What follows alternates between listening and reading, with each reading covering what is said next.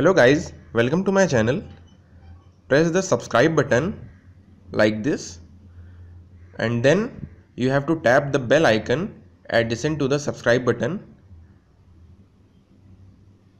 like this and then you will get the notifications from my channel. Hello guys and welcome to my channel. In this video i would be explaining you what is knurling and what is knurling operation. Before starting with the video, if you are new to this channel, please subscribe my channel by pressing the red subscribe button below. Do follow me on Facebook, Google Plus and Twitter. All the links are in the description. Watch my other videos also. All the links are given in the description below. If you find this video helpful, please press the like button and do share this video.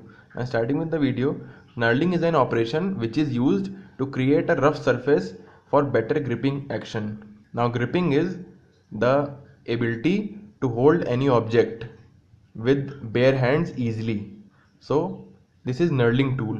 Knurling tool consists of many projections on uh, like hills or mountain like projection on the surface or on its outer circumference. So when this knurling tool is rubbed and pressed against the workpiece which has to be knurled then these create depressions in the workpiece and so the depressions which are formed in the workpiece they help in holding that workpiece easily.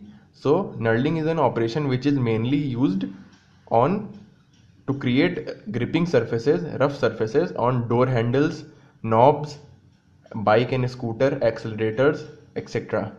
So I hope you have understood what is knurling operation and how you have performed we can perform knurling.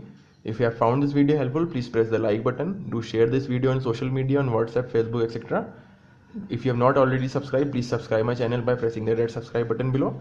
Till next time take care. Bye bye